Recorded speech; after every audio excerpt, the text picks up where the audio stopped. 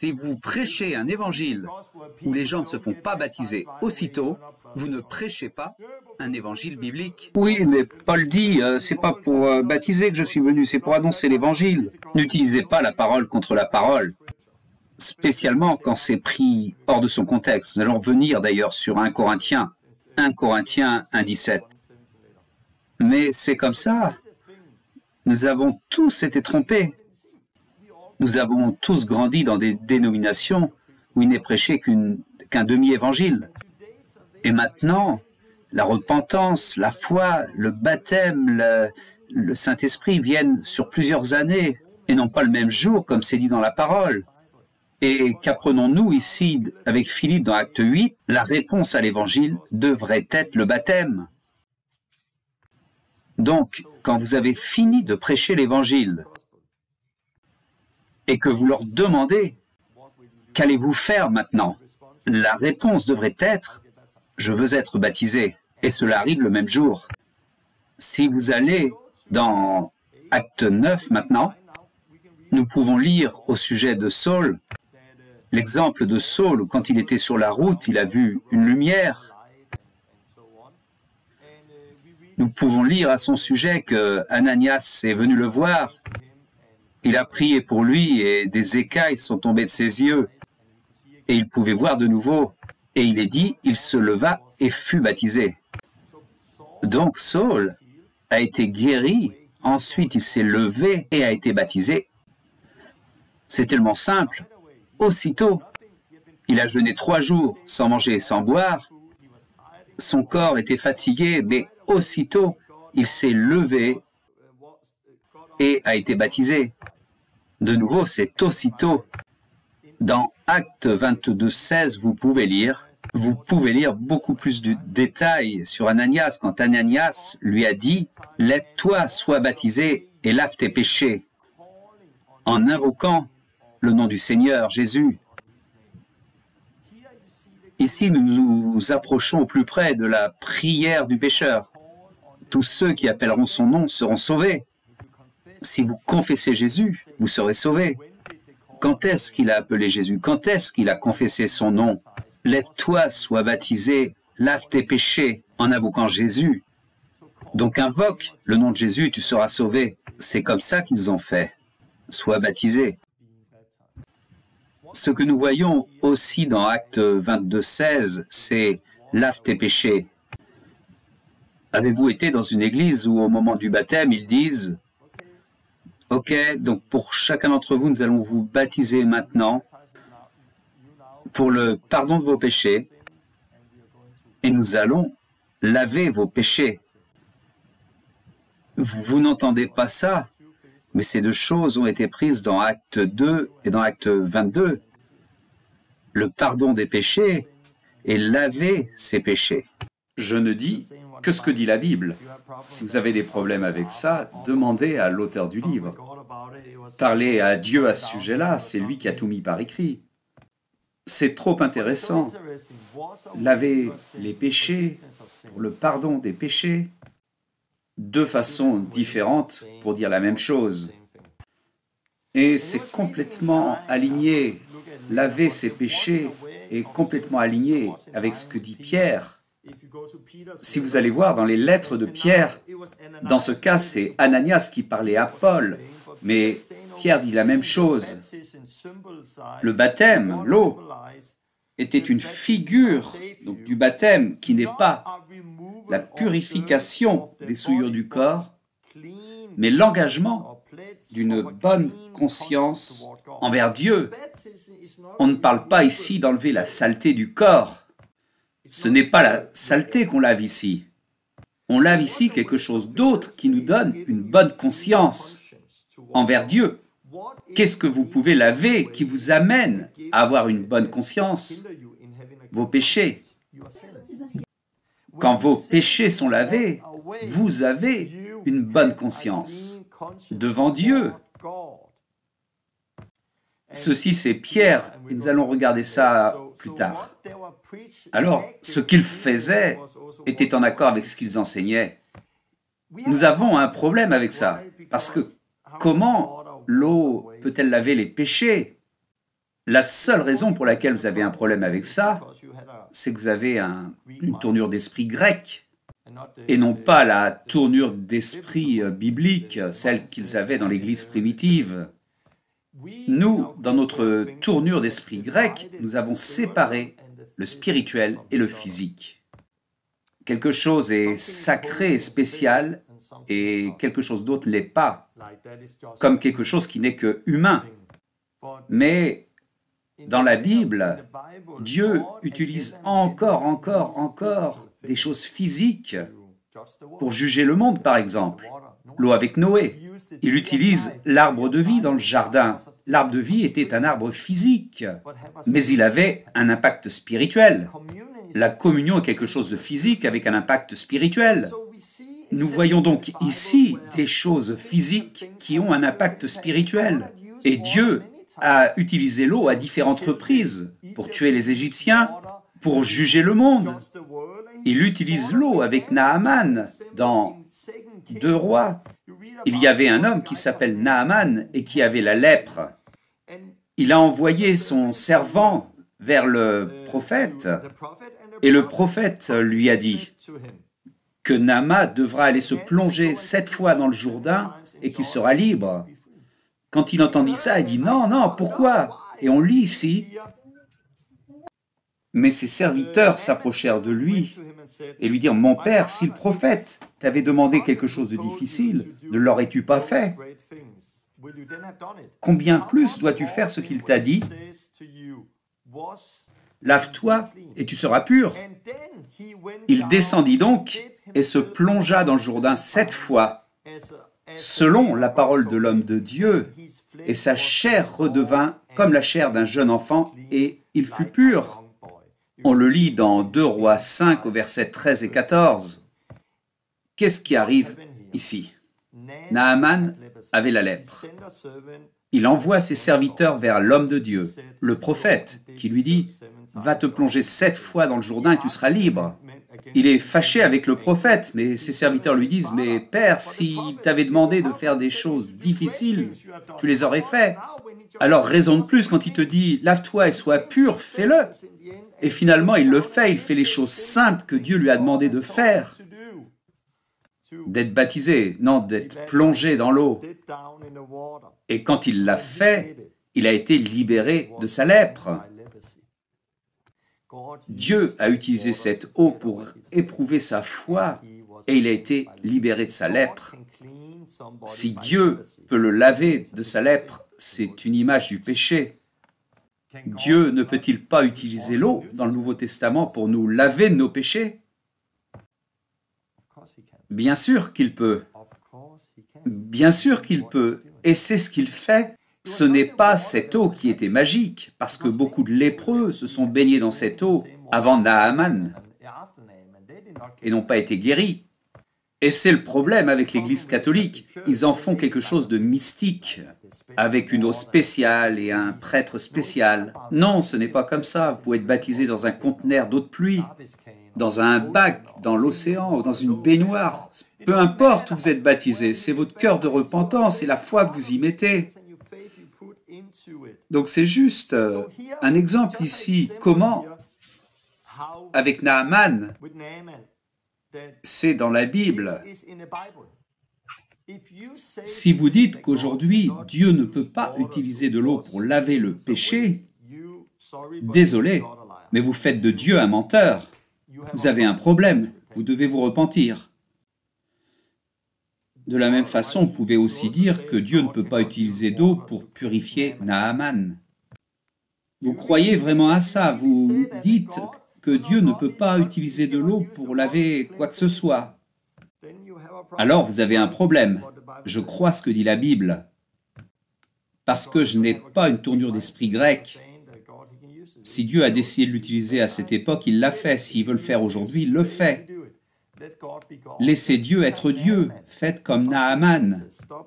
Oui, mais c'est trop facile, c'est juste un symbole. Alors, contentez-vous d'obéir. Faites ce que vous êtes appelé à faire. Il y a de la liberté dans ça. Alors, Avançons. Acte 10. Nous avons vu acte 8, acte 9, maintenant acte 10. La maison de Corneille. Donc Pierre est venu dans la maison de Corneille. Il était en train de prêcher et tout d'un coup le Saint-Esprit est venu sur les païens et il était choqué en se disant mais peuvent-ils recevoir le Saint-Esprit comme nous? Et alors, nous lisons ici, et alors il dit ici, chapitre 10, verset 47, Personne ne peut les empêcher de recevoir le baptême d'eau maintenant qu'ils ont reçu le Saint-Esprit comme nous. Et il leur donne qu'ils soient baptisés dans le nom de Jésus-Christ. Ce que nous voyons ici, c'est ça. Ils ont premièrement reçu le Saint-Esprit et ensuite ont été baptisés dans l'eau. Il est possible de recevoir le Saint-Esprit en premier et ensuite d'être baptisé. La repentance fait une chose, le baptême d'eau fait une autre et le Saint-Esprit en fait encore une autre. Certaines personnes se repentent en premier et ensuite reçoivent le Saint-Esprit, mais ça ne veut pas dire qu'ils n'ont pas besoin du baptême d'eau. Tu peux avoir le baptême du Saint-Esprit et continuer à porter ton ancienne vie. Et cette vieille vie vient tuer votre nouveau corps et vous ne pouvez pas rentrer dans ce nouveau royaume avec votre ancien corps. Il est accroché à vous, vous avez besoin d'enterrer ce vieux corps. Alors ceci est encore un autre exemple de cela. Alors à quoi ça ressemble? Alors ce que l'on voit ici, c'est qu'ils sont aussi baptisés dans le nom de Jésus-Christ. C'est toujours dans le nom de Jésus, dans le nom de Jésus, dans le nom de Jésus, dans le nom de Jésus. Ce n'est jamais dans le nom du Père, du Fils et du Saint-Esprit. Pourquoi? Jésus dit, faites de toutes les nations des disciples en les baptisant au nom du Père, du Fils et du Saint-Esprit. Mais il dit dans le nom, pas dans les noms. Quel est le nom? Ce nom est Jésus, le nom qui est au-dessus de tout nom. Nous ne chassons pas les démons en disant au nom du Père, du Fils et du Saint-Esprit, tu pars. Nous ne guérissons pas les malades au nom du Père, du Fils et du Saint-Esprit. Non, nous utilisons le nom de Jésus, le nom au-dessus de tout nom. Le baptême, nous mourons au péché, nous sommes ensevelis et nous ressuscitons de nouveau. C'est la croix, Jésus est mort, il a été enseveli et il est ressuscité. C'est le Fils qui est mort pour nous, le nom au-dessus de tout nom. C'est pourquoi nous nous repentons devant Dieu le Père, nous sommes baptisés en Jésus-Christ le Fils et nous recevons le Saint-Esprit. Alors je crois que beaucoup de gens n'ont pas compris Matthieu 28. Certaines personnes disent que c'est une mauvaise traduction et que cela a été réécrit, mais peu importe la façon dont vous lisez Matthieu 28, mais vous lisez à chaque fois dans la Bible que quand ils sont baptisés, c'est en Christ, dans le nom de Jésus-Christ, en Christ. Et ce qui se passe, c'est que ça prend du temps pour enlever les lunettes religieuses. J'ai été baptisé dans le nom du Père, du Fils et du Saint-Esprit. Je ne rebaptise pas les gens pour cette raison seule, parce que je crois que Dieu est plus grand que ce qui a été dit. Mais je crois aussi que si tu sais ce qui est juste et que tu ne le fais pas, tu es un pécheur. Mais c'est difficile par moment de changer. J'ai baptisé beaucoup de gens dans le nom du Père, du Fils, du Saint-Esprit, le nom du Père, du Fils, du Saint-Esprit. Et puis j'ai réalisé que j'avais tort. Et je me suis retrouvé en conflit avec moi-même. Et je me suis dit, ok, faisons-le correctement. Alors au début, j'ai fait au nom du Père, du Fils, du Saint-Esprit, Jésus. Dans le nom du Père, du Fils, du Saint-Esprit, Jésus dans le nom de Jésus, du Père, du Fils, du Saint-Esprit. Il m'a pris du temps pour euh, changer à cause des traditions. Je déteste ces traditions, et spécialement quand ça détruit la vérité. Et puis je suis finalement venu à me dire, c'est ce que dit la Bible. Encore, encore, encore et encore, et c'est ce que nous devrions faire. J'ai étudié l'histoire de l'Église, et c'est ce que dit l'Église primitive, dans le nom de Jésus. Donc qu'est-ce que j'ai fait bah, Maintenant, je baptise en Christ. Je dis souvent, êtes-vous prêt à être baptisé en Christ? Et quand ils disent oui, je dis, meurs avec Christ, ressuscite avec Christ. J'ai souvent été critiqué parce que dans nos vidéos, on entend meurs avec Christ, ressuscite avec Christ. Donc ils ne pensent pas que je baptise en Christ, et je le fais pourtant, parce que cela n'apparaît pas toujours de façon claire. Nous leur demandons, êtes-vous prêt à être baptisé en Jésus-Christ? Donc je vous baptise en Christ. Et puis nous disons, meurs avec Christ, ressuscite avec Christ. Donc dans les vidéos, vous n'entendez souvent que meurs avec Christ, ressuscite avec Christ. Mais la chose biblique est, je vous baptise en Jésus-Christ. Ou dans le nom du Christ. Meurs avec Christ, ressuscite avec Christ. C'est ce que nous avons ajouté, c'est une belle image. Mais de nouveau, ici, on voit la maison de Corneille. Ils reçoivent le Saint-Esprit en premier, mais ensuite il dit, peut-on interdire le baptême à ceux qui ont reçu comme nous le Saint-Esprit? Si je vois un enfant de 8, 9 ans qui a reçu le Saint-Esprit et est convaincu d'une façon très forte, ils ont reçu le Saint-Esprit comme nous, est-ce que quelqu'un peut leur interdire le baptême?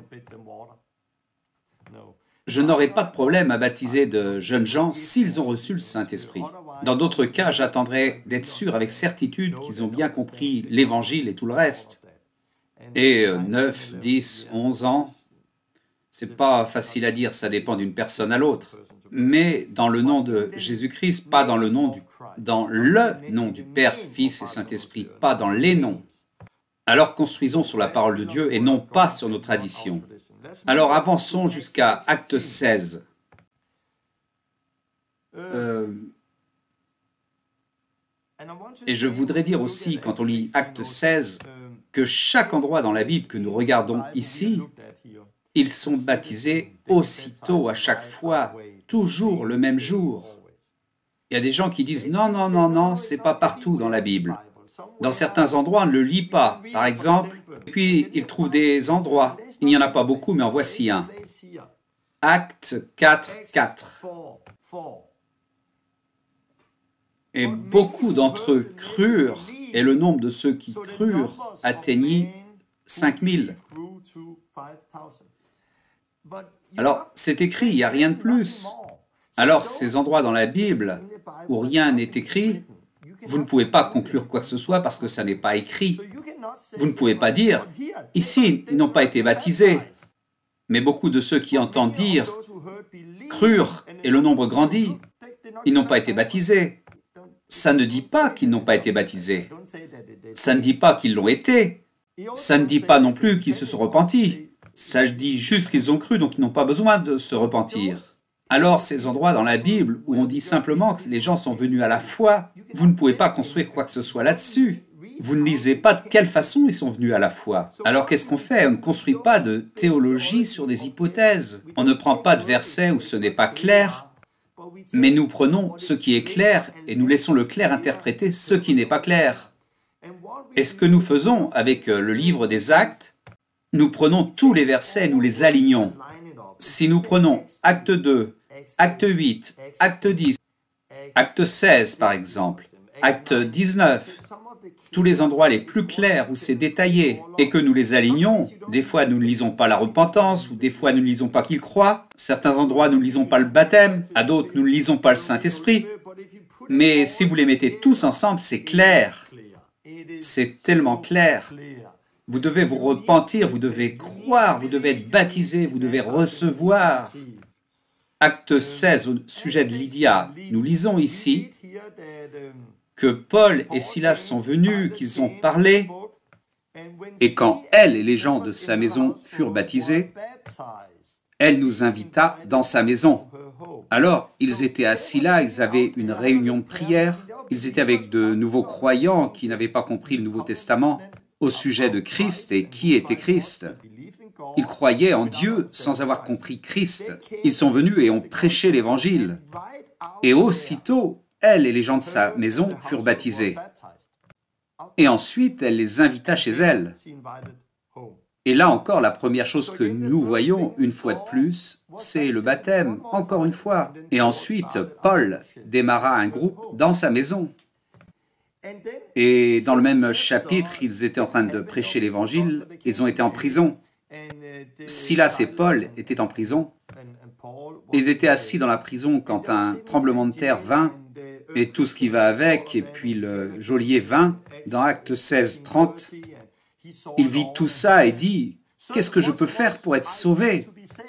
Et ça, c'est une bonne question. Que devons-nous faire pour être sauvés Et il répondit, crois en Jésus et tu seras sauvé, toi et les gens de ta maison. Je crois en cela.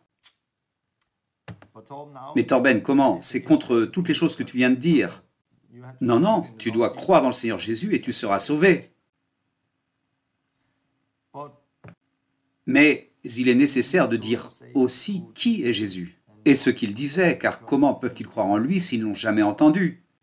Et comment peuvent-ils entendre si personne ne prêche? Donc après qu'il ait dit, crois dans le Seigneur Jésus et vous serez sauvés, ils prêchèrent les paroles du Seigneur à lui et aux autres de sa maison.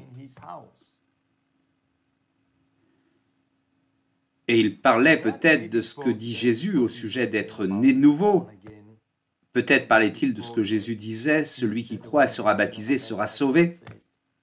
Nous ne savons pas ce qu'il lui disait, mais il lui parlait de la parole du Seigneur, ainsi qu'aux membres de sa famille.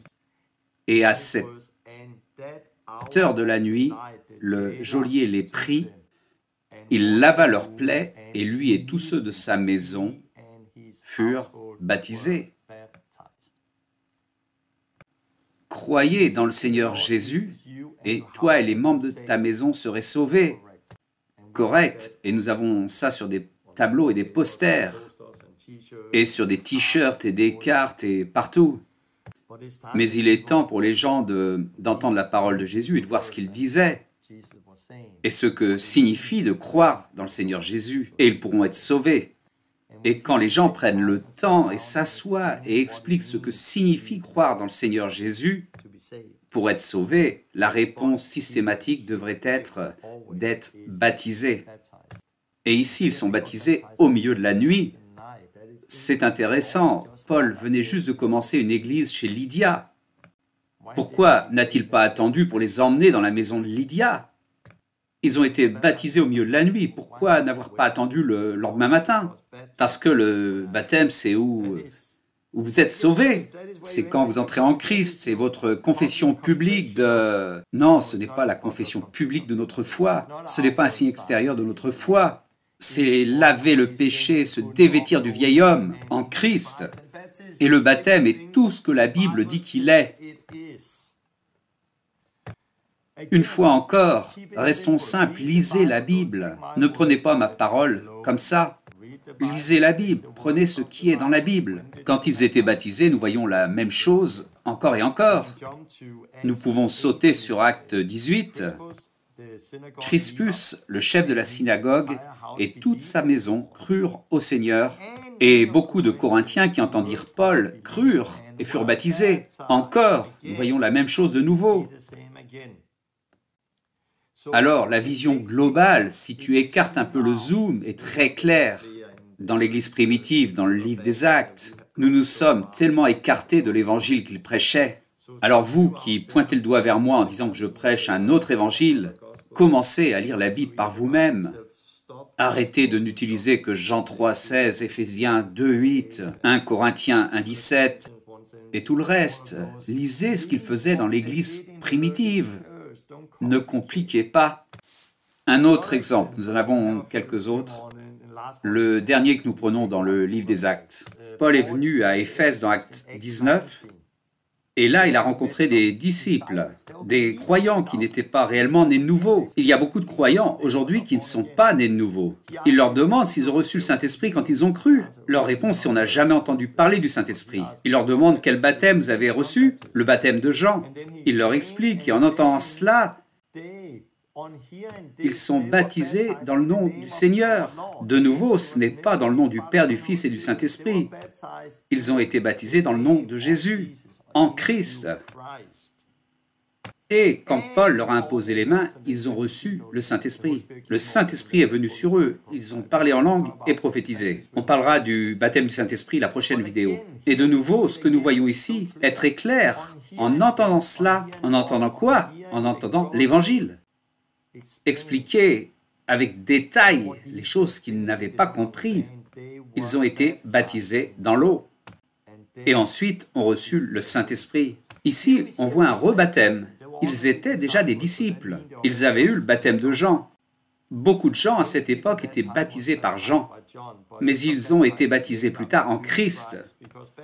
Ils avaient reçu le baptême de Jean, mais qui est un baptême de repentance. Mais ce n'était pas dans le nom de Jésus. Jésus n'était pas mort, enseveli, ressuscité. Ce n'était pas identifié à la croix à ce moment-là. Mais après la croix, ça a été identifié avec la croix et c'est devenu dans le nom de Jésus. C'est pourquoi nous voyons ici ces gens dans Acte 19 qui sont rebaptisés. Donc, ils croyaient, mais ils n'avaient pas compris le plein évangile, comme beaucoup de gens dans l'Église aujourd'hui. Ce n'est pas juste avoir la foi. Jacques dit, tu crois qu'il y a un seul Dieu, tu fais bien, les démons le croient aussi, et ils tremblent. Mais ne sais-tu pas que la foi sans les œuvres est morte? Ce n'est pas juste de croire, c'est comment vous croyez. Voilà, c'était le livre des actes. Nous sommes allés voir ce qu'il faisait dans l'Église primitive.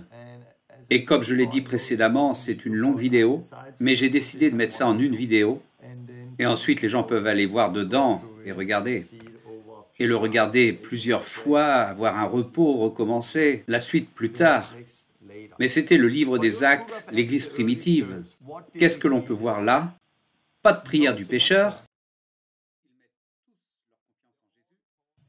Ils invoquent tous le nom de Jésus. Ils se font tous baptiser en Christ. Leur réponse est le baptême en Christ. Dans le nom de Jésus, le même jour ou la même nuit, des fois c'était avant le Saint-Esprit, comme dans Acte 10, et parfois après. Nous voyons également que c'était un baptême pour le pardon des péchés et pour euh, purifier les péchés. C'est ce que faisait l'Église primitive. Qu'est-ce que fait notre Église aujourd'hui? Nous ne disons jamais pour le pardon des péchés, nous ne disons jamais pour laver les péchés. Nous ne prêchons plus d'évangile où la réponse est le baptême. Nous ne baptisons plus les gens aussitôt parce que c'est une confession publique de notre foi. C'est notre façon d'être membre d'une Église. C'est un signe extérieur de notre foi. Vous avez à franchir plusieurs étapes dans l'Église. Et souvent, vous n'êtes pas baptisé en Christ aujourd'hui. Vous êtes plutôt baptisé euh, dans l'Église. C'est à peu près comme l'Église catholique où ils sont baptisés dans l'Église au lieu d'être baptisés dans une personne. Beaucoup de traditions, beaucoup de traditions, beaucoup de traditions. Et cela m'amène à Matthieu 7, 13. Jésus dit aux pharisiens, des gens religieux, vous avez détruit la parole de Dieu par vos traditions que vous avez établies. Vous avez détruit la parole de Dieu à cause de vos traditions que vous avez établi. Vous qui regardez cette vidéo, c'est la même chose dans votre vie, dans votre Église. Nous avons de beaucoup de façons détruit la parole de Dieu ou l'a rendu impuissante. Ce n'est plus ce que dit la parole, mais ce sont nos traditions, les traditions qui ont été établies, les traditions qui nous ont été données. Oui, mais c'était toujours dans le nom de Jésus. Non, nos traditions disent dans le Père, le Fils et le Saint-Esprit. Et c'était aussitôt. Non, nos traditions disent non. Oui, mais le baptême, c'est pour pardonner les péchés, pour euh, laver les péchés. Non, nos traditions disent quelque chose d'autre. Nous avons fait exactement ce que Jésus dit dans Marc, hein, pas Matthieu. Hein. Marc 7, 13. Nous avons détruit la parole ou nous l'avons rendue impuissante à cause de nos traditions. C'est clair, c'est tellement clair, tellement clair. Oui, mais alors le larron sur la croix Le larron sur la croix n'a pas été baptisé. Non, il n'a pas été baptisé. Comme toute personne avant la croix n'a pas été baptisée en Christ, et avant la croix, ils n'ont pas reçu le Saint-Esprit. Le larron sur la croix n'a pas été baptisé, il n'a pas non plus reçu le Saint-Esprit. Est-ce un exemple sur lequel nous devrions construire? Oui, mais il a été sauvé. Oui, euh, comme euh, Ève et Moïse et beaucoup d'autres gens dans la Bible. Noé, n'a-t-il pas cru en Dieu? Et tous ceux dont on parle dans Hébreu au chapitre 11, le chapitre sur la foi, ils n'ont pas été baptisés en Christ. Pourquoi? Parce que c'était avant la croix. C'était un autre temps, une autre alliance. Mais ils ont été circoncis, ils ont fait certains d'entre eux d'autres choses. Oui, mais revenons au larron sur la croix. Il était pendu, il avait quelques secondes à vivre. Il ne croyait pas que Jésus était mort, avait été enseveli, était ressuscité. Il ne croyait pas ce qu'on prêche dans l'Évangile. Qu'est-ce que c'est? C'est que Jésus est mort, il a été enterré, il est ressuscité de nouveau. Le larron sur la croix ne croyait pas à cela. Il ne croyait pas dans la mort, l'ensevelissement et la résurrection de Christ. Pourquoi? Parce qu'il ne savait pas que cela arriverait. Il a été pardonné. Oui, parce que Jésus est Jésus, et il a la puissance pour pardonner. Mais ne l'utilisez pas comme un exemple. Ne l'utilisez pas comme un exemple, parce que vous ne pouvez pas plaisanter avec le pardon avec Christ. Si je vais voir une prison un jour que je vois quelqu'un assis dans la prison et qu'il n'y a pas d'eau, ou quelqu'un qui est allongé sur son lit de mort, ou ce mec en prison qui va jamais sortir, ou cet autre qui va mourir sur son lit, je lui dirais, tourne-toi vers Jésus. Il a tout en lui, et laisse Jésus faire ce qu'il doit faire. Il connaît les cœurs, et laissez Jésus être Jésus. Et ne construisez pas de théologie là-dessus, ce sont des exceptions. Ne construisez pas de théologie là-dessus. Nous sommes appelés à prêcher et à faire ce que Jésus nous appelle à prêcher et à faire. Et le gars dans la prison, qui n'a pas d'eau, s'il fait comme ça, dans le nom de Jésus, je suis baptisé, ce n'est pas une immersion, mais c'est la seule chose qu'il a. Alors est-ce que Dieu peut le faire? Il est Dieu, oui, il peut le faire. Mais est-ce qu'aujourd'hui, nous, on peut dire, je ne veux pas être baptisé, je veux juste faire comme ça? Non, vous êtes dans l'erreur. Vous êtes dans l'erreur avec Dieu. Et vous devez vous repentir parce que vous n'êtes pas juste devant Dieu. C'est une affaire de cœur. Je crois que si le larron n'était pas mort et qu'il était descendu de cette croix et qu'il avait compris le plein évangile, je pense qu'il se serait repenti, aurait été baptisé, aurait reçu le Saint-Esprit. Il aurait fait ce qu'il devait faire et aurait suivi Christ, car il aurait eu la volonté de donner tout à Christ. Et c'est ce qui ressort aujourd'hui. Ce n'est pas ce qui sauve, c'est qui sauve, c'est Jésus. Ils vont regarder beaucoup et leur dire, mais qu'avez-vous fait? Vous m'appelez Seigneur, Seigneur, mais vous ne faites pas les simples choses que je vous ai commandées. Mais de nouveau, si vous avez cinq secondes à vivre, vous vous tournez vers Christ et pleurez devant lui. Bien sûr qu'il peut vous sauver. Mais si vous ne vous débarrassez pas de cette ancienne vie et que vous avez des années à vivre, et vous continuez à marcher avec Dieu, sans vous dévêtir de cette ancienne vie, cette nouvelle vie qui commence en vous, il y a beaucoup de chances qu'elle meure, parce que cette ancienne vie va revenir après vous et vous tuer. Et c'est ce que nous voyons. Donc le gars qui est allongé sur son lit de mort, il n'a pas besoin d'enterrer son ancienne vie. De la même façon, pour être libre et continuer en Christ, je crois qu'il y a une possibilité pour qu'il se tourne vers Christ. Mais nous ne prêchons pas aux gens sur leur lit de mort. Nous ne prêchons pas aux gens qui sont pendus sur la croix dans l'Ancien Testament. Nous prêchons aux gens aujourd'hui. Et nous avons besoin de prêcher le plein évangile et de comprendre l'évangile dans le contexte. Et alors, qu'en est-il du larron sur la croix? Ça revient toujours. Alors maintenant, prenons l'autre, 1 Corinthiens 1,17. Paul, ce n'est pas pour baptiser que Christ m'a envoyé, c'est pour annoncer l'évangile. Alléluia.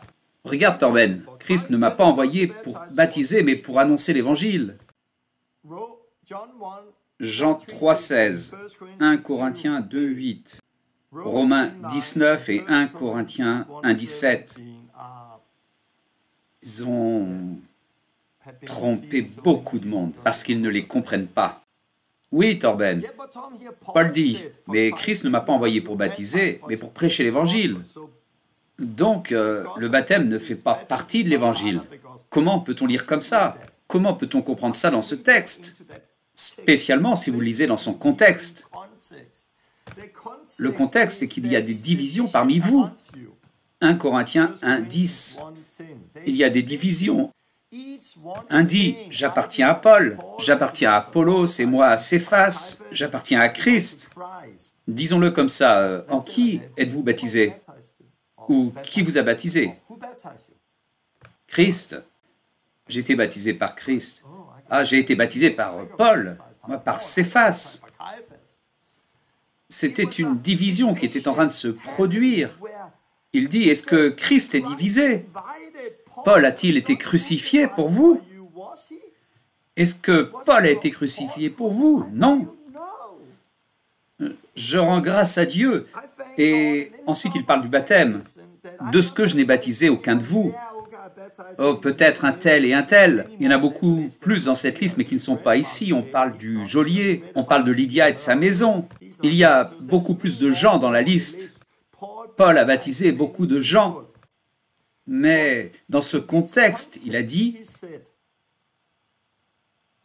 Mais le Christ ne m'a pas envoyé pour baptiser, mais pour prêcher l'Évangile. Il leur a dit à eux, dans ce contexte, quand le geôlier a-t-il baptisé le geôlier Oui, il l'a fait. Et Lydia Oui, il l'a fait également avec sa maison. Et qu'en est-il de beaucoup d'autres gens Oui, il l'a fait. Mais dans ce contexte, il dit ceci parce qu'ils sont divisés. Il y a une confrontation pour savoir qui a eu le meilleur baptême. Dans le contexte, c'est comme ceci. Nous lisons au sujet de Jésus dans Jean 4. Ce n'est pas Jésus seul qui baptisait, mais ses disciples. Pourquoi Jésus ne baptisait-il pas lui-même, mais ses disciples? Je crois que... Je ne sais pas. Mais ça pourrait être comme euh, Paul. Paul n'a pas baptisé lui-même, mais avec le temps, il a fait baptiser d'autres personnes. Parce que ça ne devrait pas être un sujet de division, de savoir qui baptise. Ah, mon baptême est meilleur que le vôtre. J'ai été baptisé par Paul. Paul Mais moi j'ai été baptisé par Pierre. Et moi j'ai été baptisé par Jésus. Alors taisez-vous. Ils avaient oublié ce qui était important dans tout ça. Et c'est le contexte dans lequel c'est écrit. J'utilise souvent ces versets dans leur contexte. Quand les gens viennent vers moi et me disent Torben, j'ai entendu l'évangile. Ah, magnifique. Euh, Torben, j'ai besoin d'être baptisé. Amen. Mais je veux que vous, vous me baptisiez. J'ai besoin que ce soit vous qui me baptisiez. Moi? Non. Pourquoi? Ah, c'est trop important que vous, vous me baptisiez. À chaque fois que quelqu'un me dit Tu dois me baptiser, Torben, je dis non. Christ ne m'a pas envoyé pour baptiser, mais pour prêcher l'Évangile. Est-ce que ça signifie qu'ils ne vont pas être baptisés? Ils vont être baptisés, mais comme Jésus laissait ses disciples baptiser, je laisse d'autres personnes baptiser. Pourquoi? Parce que je ne veux pas que ce soit en rapport avec moi. La question n'est pas qui baptise, mais en qui vous êtes baptisé. Et c'est Christ. Et je comprends Paul quand les gens argumentent de cette façon. Je vais dire, euh, j'arrête de baptiser, je ne baptise plus personne ici. Je n'ai pas été envoyé pour baptiser, été envoyé pour prêcher l'Évangile. Et ça ne signifie pas qu'ils ne vont pas être baptisés.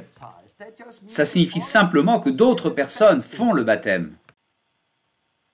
Mais les gens vont utiliser ce seul verset et tous les autres versets, ce que nous avons vu, ce que nous allons voir, vont être pris et jetés de côté. Plein d'exemples très clairs et les paroles de Jésus lui-même, celui qui croira et sera baptisé sera sauvé, tout est jeté à cause d'un verset, pris hors de son contexte. C'est tellement triste. Donc souvenez-vous de ça, à chaque fois que les gens utilisent 1 Corinthiens 1, 17, oui, mais Christ ne m'a pas envoyé pour baptiser, mais pour prêcher l'Évangile. Le contexte est une dispute sur qui a été baptisé par qui. En considérant qu'un baptême est meilleur qu'un autre baptême, c'est lui qui m'a baptisé, ça n'est pas lui, mais c'est lui. Lisez dans le contexte. Jésus non plus ne baptisait pas, il laissait ses disciples faire. Quand Paul a mûri, peut-être a-t-il baptisé moins et moins et a laissé les autres baptiser comme je fais moi-même. Dans les séminaires Kickstart, je laisse les gens baptiser plus que moi. Et généralement, je ne baptise pas seul. Pourquoi? Parce que je ne veux pas que les gens aillent dire Mais c'est Torben qui m'a baptisé. Donc j'espère que vous comprenez. Oh, tradition, tradition, tradition. Mais c'est juste fou, c'est juste fou. Ce que nous avons aussi besoin de comprendre dans 1 Corinthiens, souvenez-vous de 1 Corinthiens où Paul écrit ça, il écrit à l'Église, ils étaient déjà tous baptisés. Chaque personne à qui il écrivait était déjà baptisée, souvenez-vous de ça.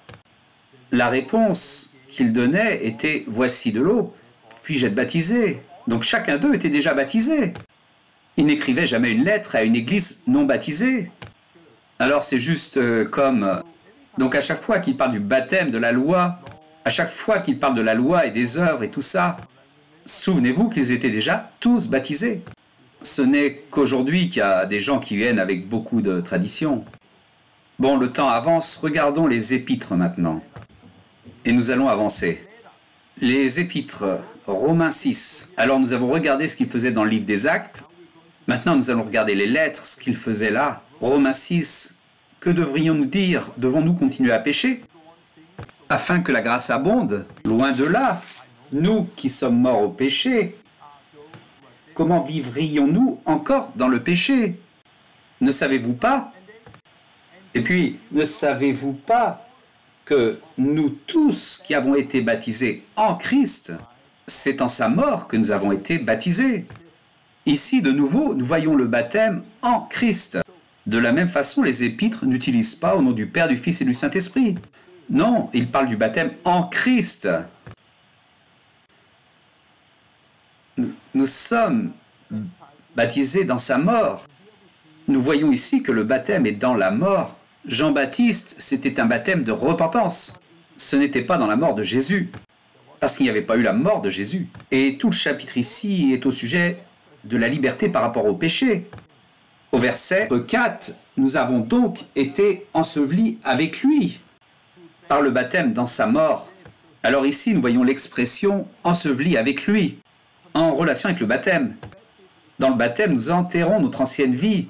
Nous étions là pour être enterrés avec lui à travers le baptême dans sa mort, afin que, comme Christ est ressuscité des morts par la gloire du Père, nous aussi puissions vivre une nouvelle vie. En effet, si nous sommes devenus unis avec lui dans sa mort, tout cela parle du baptême.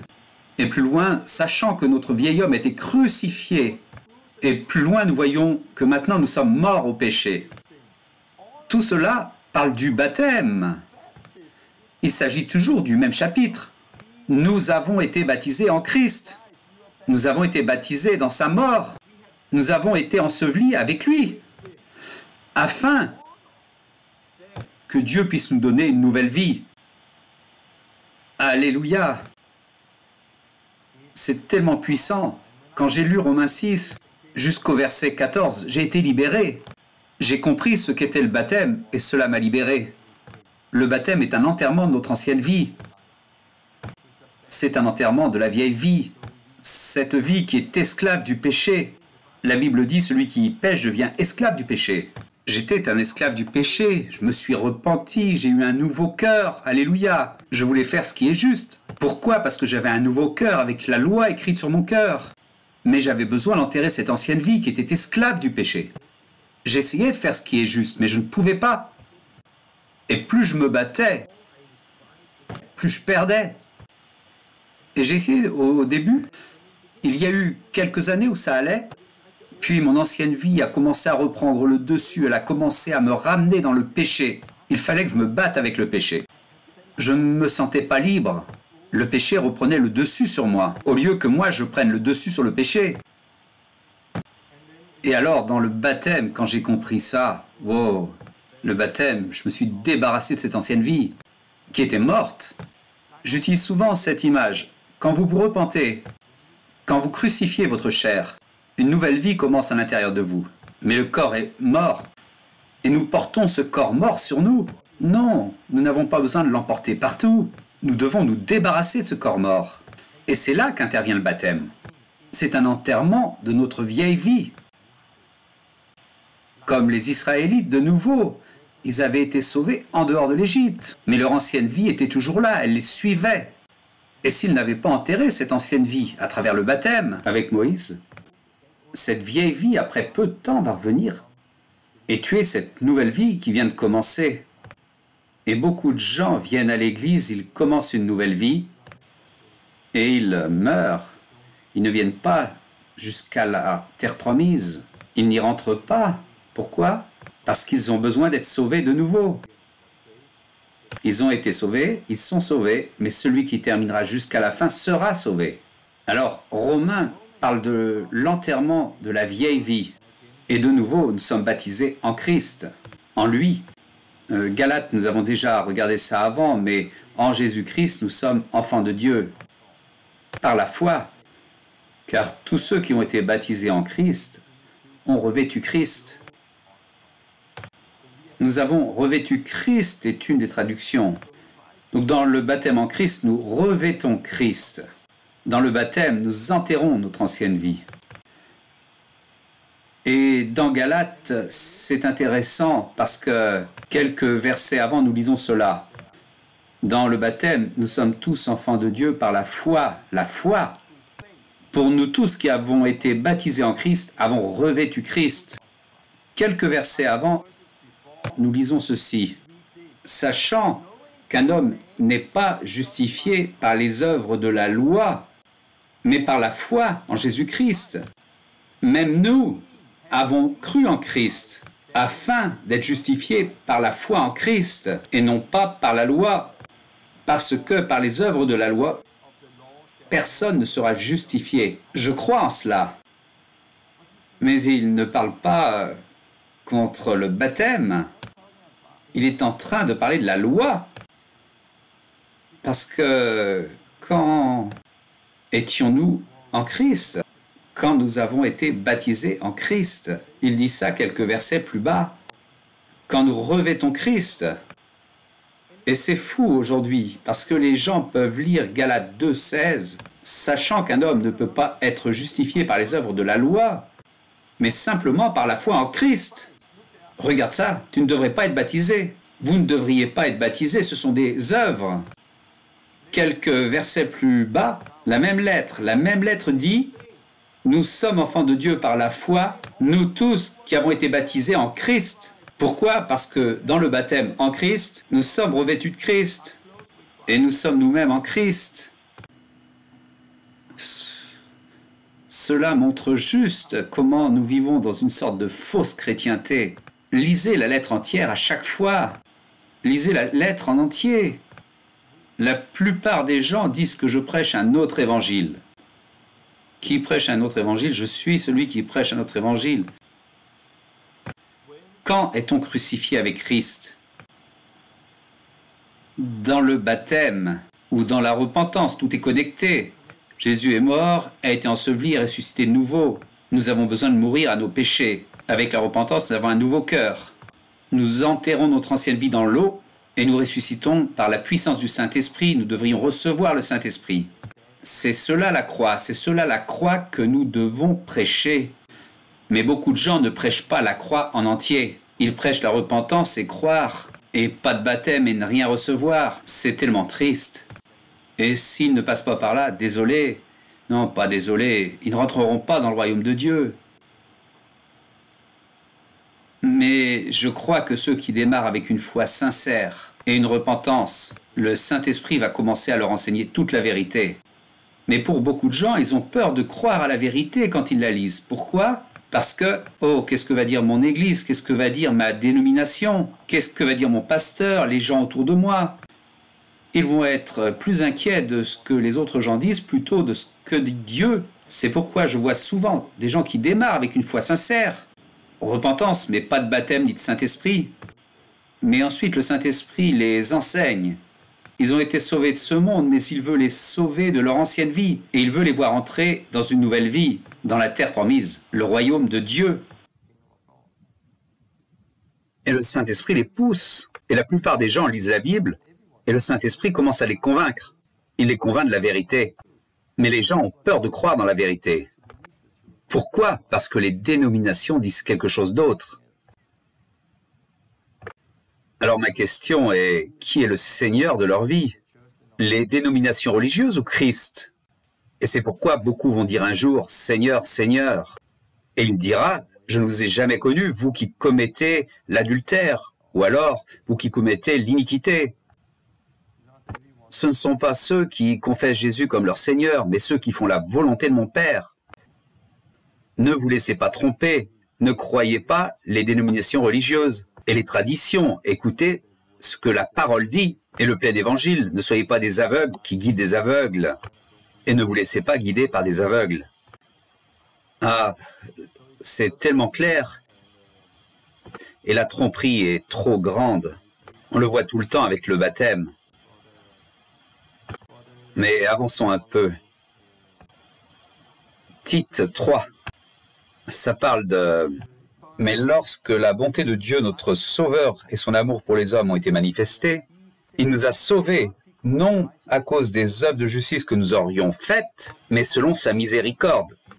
Il nous sauve par le bain de la régénération et le renouvellement du Saint-Esprit. Il y a beaucoup de gens qui vont dire, mais ça n'a rien à voir avec l'eau ici. Le bain de la régénération, ce n'est pas l'eau, c'est la parole ou quelque chose d'autre. Parce qu'ailleurs, ça parle de la parole. L'eau, c'est l'eau, et laver, c'est laver. Vous ne lavez pas les gens dans ce contexte ici par la parole. Vous lavez par l'eau et le Saint-Esprit. Et les gens si vous allez dans la concordance Strong, c'est le bain. Ça vient du mot bain. Et c'est une image du baptême. C'est comme ça dans la concordance Strong. C'est un bain par la renaissance et le renouvellement du Saint-Esprit. La seule raison pour laquelle les gens ne peuvent pas voir le baptême d'eau et le baptême du Saint-Esprit, c'est à cause des très grosses lunettes religieuses qu'ils portent à cause de séminaires de pharisiens qui ne comprennent pas Dieu. Il nous a sauvés par le lavage par l'eau et le Saint-Esprit. Le baptême par l'eau est une renaissance. C'est un baptême qui vous sauve de vos péchés. Et ensuite, il y a un renouvellement qui vient avec le Saint-Esprit. C'est tellement clair. Mais encore une fois, tradition, tradition, tradition. Mais ce sont les fondations Hébreux 6 nous les rappelle. Renoncement aux œuvres mortes, foi en Dieu, doctrine des baptêmes, la repentance, la foi, les baptêmes et le Saint-Esprit. C'est ce qu'on lit dans Hébreux 6. Nous voulons avancer. Je sais que c'est une très longue vidéo de deux heures, mais de nouveau, vous pouvez faire une pause et revenir ensuite. Mais j'espère que vous regarderez l'ensemble. Jésus nous a sauvés, non à cause des œuvres de justice que nous aurions faites, mais il nous a sauvés à travers quoi? À travers le bain de la régénération, le baptême d'eau et le renouvellement du Saint-Esprit. C'est tellement clair. Il nous a sauvés de quoi? De nos péchés. Alors, progressons. Alors, euh, Colossiens, un des derniers versets. Colossiens, tellement puissant. Colossiens 2, verset 11. En Christ, vous avez été circoncis d'une circoncision qui n'a pas été faite par la main de l'homme, qui consiste dans le dépouillement du corps, de la chair. Quand vous avez été circoncis par Christ, ayant été enseveli avec lui dans le baptême, en qui vous êtes également ressuscité par votre foi en la puissance de Dieu qui l'a ressuscité des morts. C'est puissant, puissant, c'est un puissant verset. Laissez-moi expliquer. En lui, en Christ, nous avons été circoncis, mais pas par la main de l'homme, comme euh, dans l'Ancien Testament. Ils étaient circoncis sur le prépuce. Ils coupaient le prépuce. Dans ces temps-là, ils circoncisaient le prépuce euh, par main d'homme. Maintenant, ce n'est pas le prépuce qui a besoin d'être coupé. Maintenant, c'est l'ancienne vie qui est sous le péché, qui est sale à cause du péché, qui a besoin d'être coupé par la circoncision qui est faite par Christ. Quand est-ce que cela est fait par Christ? Quand nous sommes ensevelis avec lui dans le baptême dans le baptême, quand nous nous dépouillons de cette vieille vie, quand nous ensevelissons cette vieille vie. Ceci est notre circoncision. Alléluia. Le baptême est une circoncision. Non, nous ne devons pas être circoncis par la chair, nous devons être circoncis par le baptême. Donc, euh, ne retournez pas sous la loi, ne vous faites pas circoncire. Je suis d'accord, nous sommes dans un Nouveau Testament où nous devons être baptisés. Et là intervient une circoncision, pas simplement du prépuce, mais de l'ensemble. Ce que vous devez comprendre, c'est que l'Ancien Testament donnait à Abraham la foi, il y avait un signe et c'était la circoncision. Même si c'était un signe, c'était quelque chose de très sérieux. Ce n'était pas juste un symbole. Un signe n'est pas juste un symbole. Vous pouvez lire que dans la loi, les gens qui n'étaient pas circoncis devaient être tués. Ils devaient être détruits. Ils n'appartenaient pas au peuple s'ils ne se faisaient pas circoncire. C'était à travers la foi, mais la circoncision était le signe qu'ils avaient besoin de remplir. Sans ça, par le temps, ils devaient être euh, coupés du reste. Ils étaient circoncis aussitôt. C'était tellement sérieux que Dieu a même essayé de tuer Moïse. Ou son fils, le texte n'est pas clair. Mais dans Exode 4, nous lisons plus tard que Moïse, pendant le voyage, en un lieu où Moïse passa la nuit, l'Éternel l'attaqua et voulut le faire mourir. Dans le contexte, ça peut être Moïse, mais ça peut être aussi son fils. Mais alors sa femme prit une pierre et coupa le prépuce de son fils et le jeta aux pieds de Moïse. Et elle dit ce qu'elle dit, et Dieu les laissa tranquilles. Pourquoi? Parce que Dieu était très sérieux dans ce qu'il avait dit, qu'ils devaient tous se faire couper le prépuce. Dieu est très sérieux dans ce qu'il dit. Nous n'avons pas à couper notre prépuce aujourd'hui. Nous devons couper notre corps entier. Le baptême, c'est notre circoncision, faite par Christ. Des mots très forts. Comment pouvez-vous conclure que le baptême est juste un symbole extérieur de notre foi, que le baptême est juste pour devenir membre d'une église, que c'est une confession publique, un symbole? Comment Pouvez-vous prendre vraiment le temps de lire la Bible au sujet du baptême? Ces versets ici et conclure ça Parce que la plupart des gens ne prennent pas le temps de lire la parole. Ils écoutent simplement ce que disent les dénominations religieuses. De nouveau, euh, être enseveli avec lui, le baptême est véritablement une part du salut. Le sang de Jésus nous sauve de l'Égypte. Le baptême est se dépouiller de cette ancienne vie. Nous avons besoin de ça et nous avons besoin du Saint-Esprit pour être euh, une fois sauvé, toujours sauvé. Je vais vous parler d'une fois sauvé, toujours sauvé. Nous avons été sauvés, nous sommes sauvés, et celui qui... Nous avons besoin d'entrer dans la terre promise. Et nous n'y sommes pas déjà, nous avons besoin d'entrer dans le royaume de Dieu. Et nous n'y sommes pas déjà. Jésus nous dit de continuer pour entrer dans le royaume de Dieu. Il dit, repentez-vous, repentez-vous, repentez-vous et croyez. Et il enseignait que vous qui voulez rentrer dans le royaume de Dieu, a besoin d'être né d'eau et d'esprit. Il a enseigné cela. Il ne pouvait pas le faire. Pourquoi? Parce qu'il ne pouvait pas baptiser des gens en Christ. Meurt avec Christ, ressuscite avec Christ, comme aujourd'hui. Il ne pouvait pas donner aux gens le Saint-Esprit pendant qu'il marchait encore sur la terre. Pourquoi? Parce que c'était toujours l'ancienne alliance. Mais après la croix, après qu'il soit allé au ciel, après qu'il nous ait envoyé son Saint-Esprit, la repentance telle qu'il la prêchait, le baptême d'eau et de Saint-Esprit, sont venus ensemble à la Pentecôte pour la première fois quand Pierre a dit Repentez-vous, soyez baptisés, recevez le Saint-Esprit. Et c'est ce que nous voyons tout au long du livre des Actes. Mais Colossiens 2, 11 est un beau passage. J'en ai un de plus. J'espère que ça va aller. Un de plus ici. 1 Pierre 3. 1 Pierre 3 parle de comment Christ a souffert pour nos péchés. Et ensuite, il parle de la façon dont Noé a construit l'arche et comment quelques personnes, huit, furent sauvées à travers l'eau. Et ensuite, il dit, cette eau symbolise le baptême qui maintenant nous sauve. Donc dans l'ancien monde, ils ont été sauvés à travers l'eau, dans l'arche. Christ est l'arche dans laquelle nous rentrons. Et à travers cette eau, huit furent sauvés à travers l'eau. Et ceci est une image, cela symbolise le baptême qui maintenant nous sauve. Et ensuite, il dit de façon très claire ce qu'est le baptême. Ce n'est pas une purification des souillures du corps. Ce n'est pas juste se laver pour être propre, mais c'est l'engagement d'une bonne conscience envers Dieu. Il vous sauve par la résurrection de Jésus-Christ. C'est une conscience pure que vous obtenez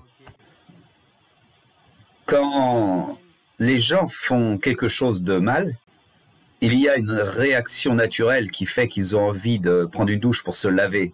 Quand on a du sang sur les mains, qu'on a fait quelque chose de terrible, quelqu'un qui a été agressé, en général, ils prennent une douche. Pourquoi? Parce qu'ils se sentent sales.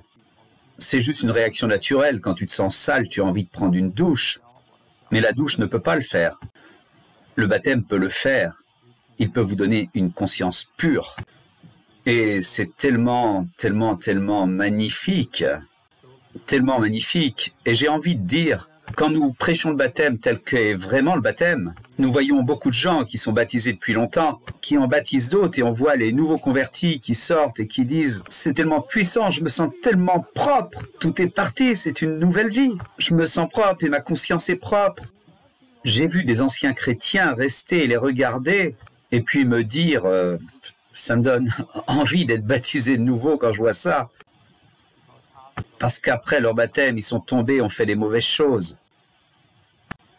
Mais vous ne devez pas être baptisé encore, encore, encore. Il doit y avoir un baptême. Mais Dieu nous a donné plus que le baptême, il nous a donné la communion. Et ce que fait le baptême, la communion le fait aussi. La communion n'est pas simplement un symbole. Nous pouvons l'expliquer de la même façon pour la communion que nous le faisons pour le baptême. À chaque fois que vous vous réunissez, faites-le. Mangez sa chair, buvez son sang. De nouveau, pas de la façon catholique, mais d'une autre façon. Ce n'est pas, c'est la même chose que le baptême. Nous allons d'une tromperie vers une autre tromperie. Je ne crois pas dans la communion catholique, mais je ne crois pas non plus dans la communion protestante. Nous sommes allés d'une tromperie vers une autre. Je ne vais pas aller plus profond là-dedans aujourd'hui. J'ai déjà fait une vidéo, j'ai mis un lien avec le texte. La Pionnière School en ligne, leçon 28. Sur la Pionnière School en ligne, j'ai une leçon sur la communion. Et je parle de ça, regardez là-bas. Mais je voulais juste aborder le sujet. Bon, euh, je sais que c'est une longue vidéo. Euh, c'était une vidéo que je voulais partager ah, vous pourrez aller voir et regarder par vous-même. Ah, un petit résumé. Et je terminerai avec deux, trois choses pratiques. Je crois que le baptême intervient après la repentance. C'est en Jésus-Christ, dans le nom de Jésus, pour laver les péchés, pour le pardon des péchés. Comme la Bible dit, vous revêtez Christ, vous revêtez Christ, vous enterrez votre vieille vie. Il fait partie du salut la repentance, la foi, le baptême et le Saint-Esprit. Et continue, et celui qui continuera jusqu'à la fin sera sauvé. Et il entrera dans le royaume de Dieu, si vous êtes pleinement né nouveau. Il fait partie du salut, et cela est important, et nous devons le prêcher. La réponse biblique à l'évangile biblique est Voici de l'eau, puis-je être baptisé? Ceux qui se sont repentis. Quand nous baptisons les gens, nous posons généralement deux questions. Quel péché voulez-vous laver? Et quelle vieille vie voulez-vous enterrer? Nous voulons que les gens comprennent que c'est un lavage des péchés. Et il y a une puissance dans la confession des péchés en implorant le nom de Jésus, en étant baptisé. Et que veux-tu enterrer Et nous prenons aussi, quand les gens sortent de l'eau, le temps de commander à toutes choses et aux démons de partir. Et certaines personnes expérimentent la délivrance avant le baptême, d'autres pendant et d'autres après. Le baptême n'est pas un outil de délivrance. Nous nous faisons baptiser parce que nous voulons faire laver nos péchés. Mais si vous prenez le temps de prier sur les gens dans le baptême, dans l'eau, vous verrez que beaucoup de gens expérimentent une délivrance à ce moment-là, comme vous le voyez dans nos vidéos. Et puis nous prions pour le baptême du Saint-Esprit. Je vais parler de cela dans la prochaine vidéo, où nous parlons plus du Saint-Esprit et du baptême dans le Saint-Esprit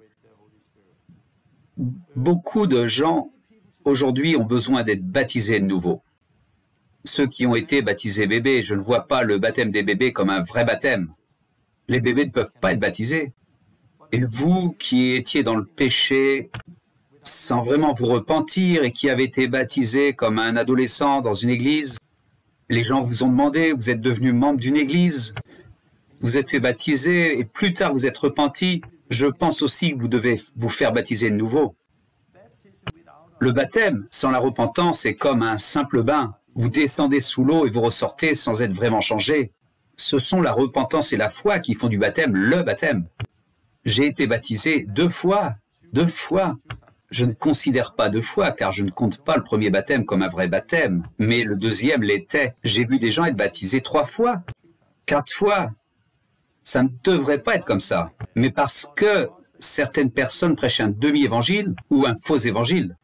Beaucoup de gens sont baptisés juste comme un symbole. Ils n'ont pas compris, ils ne se sont pas repentis. Il n'y a pas de foi en lui. Mais certaines personnes ont réellement besoin d'être baptisées de nouveau. Pour moi, je n'ai pas été baptisé de nouveau.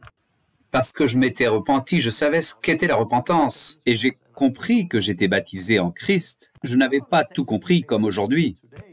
Mais j'avais juste besoin de le recevoir par la foi et de marcher dans cette liberté. Et je l'ai fait, je l'ai fait.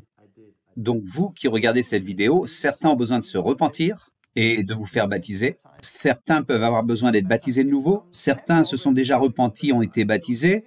Vous avez juste besoin de le recevoir par la foi et de comprendre que Christ vous a libéré du péché. Lisez Romains 6, lisez encore et encore. Tout cela était des choses au sujet du baptême. J'ai d'autres vidéos aussi que je peux mettre également. Mais repentons-nous